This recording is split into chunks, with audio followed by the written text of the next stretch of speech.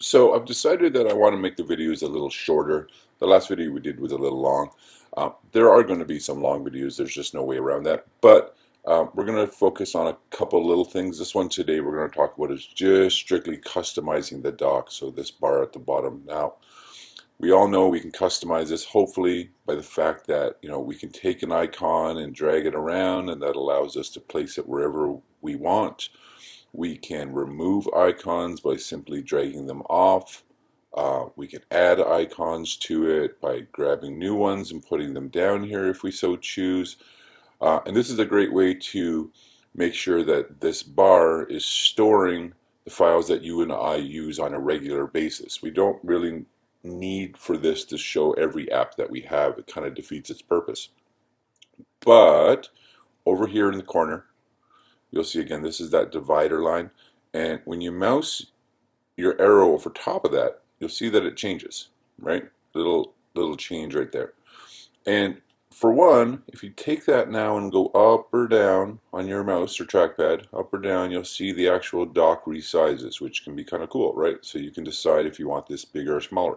And for those of us that have, you know, bad eyesight, having less icons here is good because the smaller the physical bar is, um, or the less amount of icons we have on the bar, the bigger we can make the icons. So if I have, you know, 50 apps on here, to make or to allow those 50 to show up, the bar physically has to be small.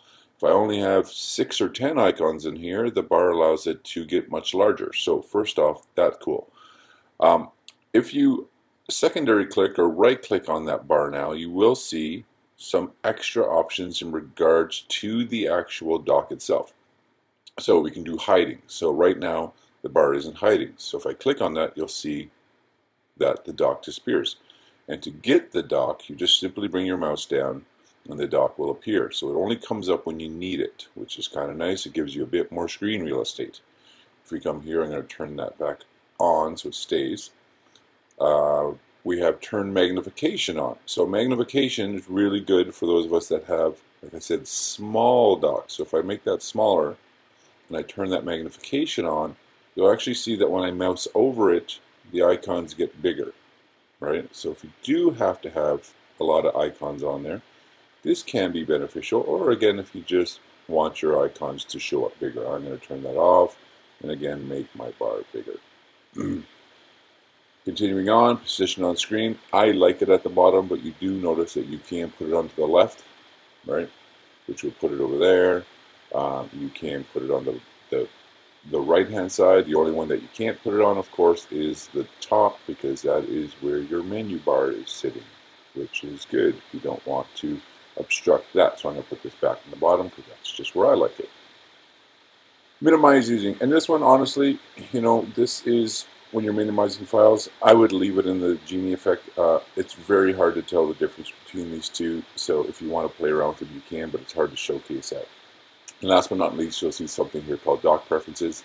And again, if you click that, it'll actually open up your system preferences where you can see. Now, you'll see the majority of the preferences that were here are repeated here. Just a little different with scroll bars and things like that.